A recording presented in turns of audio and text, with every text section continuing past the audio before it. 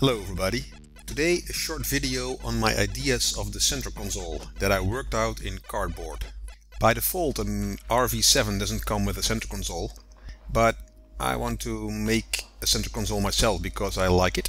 So my first idea is to make a center console that goes all the way up to the, uh, the panel where I can put the radios into the, the upgoing uh, part.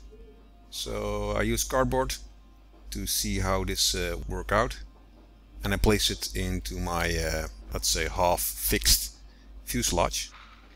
Some people say you shouldn't let it go up because then you have less leg room or at least less free space if you're especially if you're flying alone. I wanted to let's say entertain the um, the idea of, of, of making it and let's see how it looks. I like it going the way up but actually you will see later that I'm also working on a model where I uh, don't use the putting it up.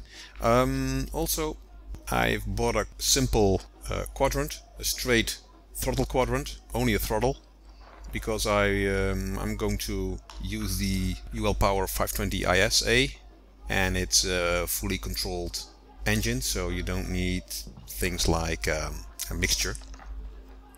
Uh, here I'm working on a uh, central console without a part going up. I liked it better because it also has the, let's say, original position of the fuel switch.